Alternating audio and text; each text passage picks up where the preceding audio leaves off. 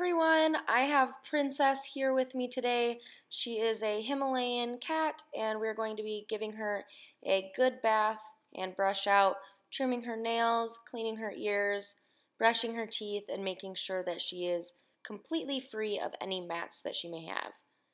Um, I'm going to start by rinsing her off, make sure that she is fully saturated in water in order to get that shampoo really down to her skin. I'm going to be using that Artero 4 Cats shampoo. Always want to make sure that you're using either a hypoallergenic shampoo or a shampoo that is specific for cats. I really like the brand Artero, but I would have to say that my favorite shampoo for cats is definitely the Chubbs bar. Uh, so go ahead and check that out. Uh, gets all of that grease and dirt and grime off, so definitely is one of the best things to be using for cats, in my opinion.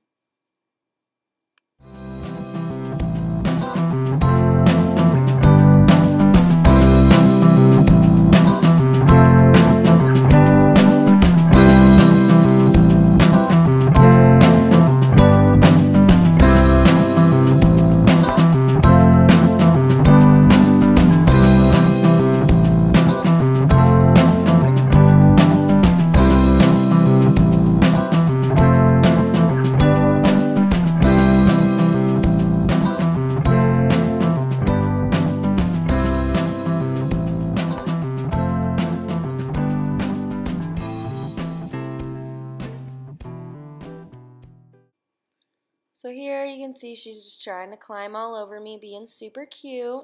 I'm just giving her a really good suds up, make sure she's all nice and clean. Uh, we don't want any grease to be left on her. You're going to make sure to wash the parts that are going to be pet the most because those are the parts that get the greasiest. So we're just going to scrub her up for a minute, make sure she's all nice and clean.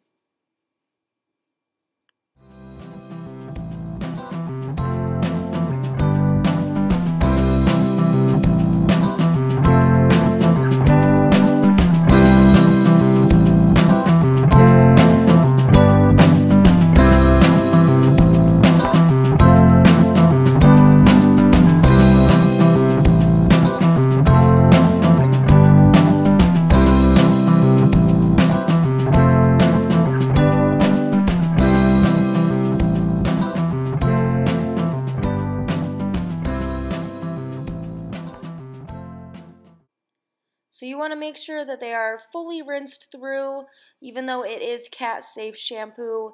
Uh, you still don't want to leave it on their skin so they can lick it off.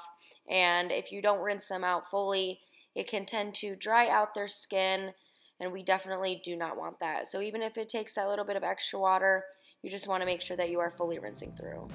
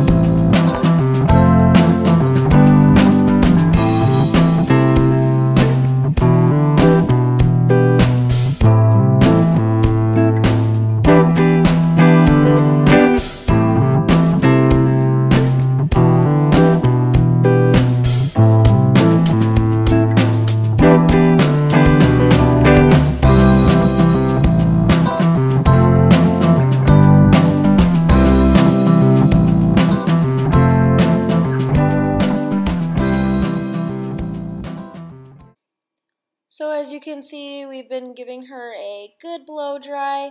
She's doing really, really good, especially for a kitty. Uh, so we're giving her a good blow dry, making sure we get all those knots out, giving her a good comb. I'll go ahead and tag my comb below as well as my Chris Christensen brush. Uh, it's definitely one of my favorite brushes that I use. Uh, make sure we comb behind her ears really well, trim around her paws, get those mats out. She had some mats on her chest that we had to shave out. Uh, unfortunately, they were too close to her skin to brush out, so the mom was okay with just shaving them. I'm going to brush her coat really nice, make her look all pretty to go home. Um, thank you guys for watching. Make sure to click to subscribe, and we will see you next time.